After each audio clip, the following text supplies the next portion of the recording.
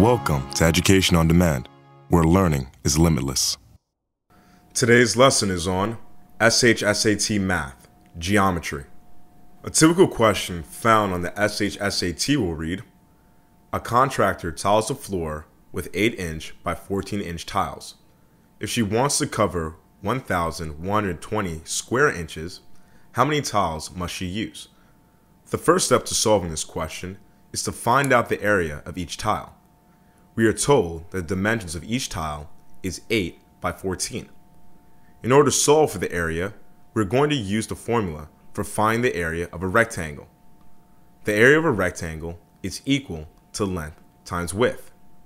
We're going to set our length to 14 and our width to 8.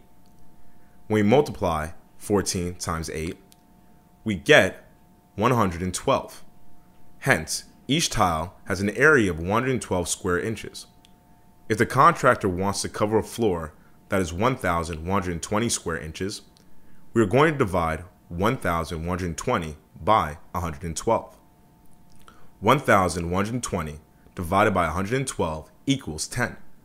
Therefore, it will take 10 tiles to cover the floor, or answer F. I hope this lesson helped you better prepare for your test. Subscribe to the Ivy Key channel and view new videos every day. If you have a test question, leave a comment below. And you can sign up for group classes and private lessons by visiting theivykey.com.